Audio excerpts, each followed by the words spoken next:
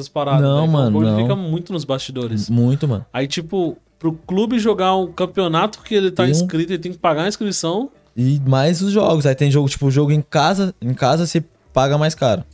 Tipo assim, porque você vai usar o estádio. E a, em Mogi é mó complicado isso, mano, de estádio. Os caras não gostam de ficar liberando. Aí é uma burocracia, mano. Pra você usar o estádio, pra você jogar lá e tal. Aí você tem um gasto. Aí às vezes, você, como, como você vai jogar fora, às vezes tem um gasto com o busão, da alimentação dos moleques, de, de ver como os moleques vai e tudo mais. E aí, vamos dizer, outro clube que é sede que paga tudo, vamos dizer. Porque é o estádio dele, a gente, a gente vai jogar lá, a gente é meio que convidado, então eles que, que tem um gasto maior. Entendeu? Tipo assim, você tem um clube, você vai jogar contra o meu time, no meu estádio. Eu tenho um gasto maior do que o seu, mas, assim, eu gasto, vamos dizer um exemplo, eu gasto 5 mil, você gasta 3. Mas se for ao contrário, eu vou gastar menos e você vai gastar mais, tá ligado? Se for no seu estádio. Então tem todo um, mano, tem tudo por trás, tá ligado? Tem tanto que tem estádio que tem time, vamos dizer, nessa última copinha que não jogou, porque não conseguiu liberação do, do estádio.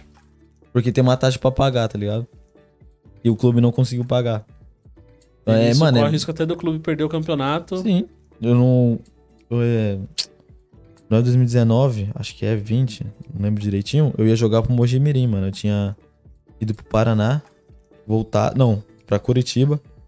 Aí eu voltei, quase passei lá, mas não deu muito certo. Voltei. E aí pegou um cara trocando ideia com meu pai. Meu pai sempre foi desenrolado pra trocar ideia com as pessoas, assim, pra conseguir uma oportunidade pra mim, tá ligado? E aí o cara gostou da minha história e tudo mais. E me chamou, mano. Aí eu fiquei lá. É, foi essa última, antes dessa última copinha agora, nessa última copinha.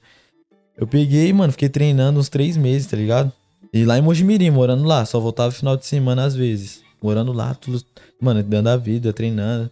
Desenrolando assim pra treinar. E assim, eu não tinha gasto de. De hospedagem, tá ligado? Porque eu tinha conseguido pra mim lá. E no final, os caras prometeu, prometeu que a gente ia jogar.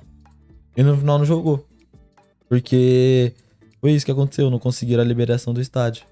Só pode jogar porque tem que ter um estádio, tá ligado? Ser sede. E aí não conseguiu ser sede. E aí o time não jogou. Aí eu fiquei sem jogar copinha.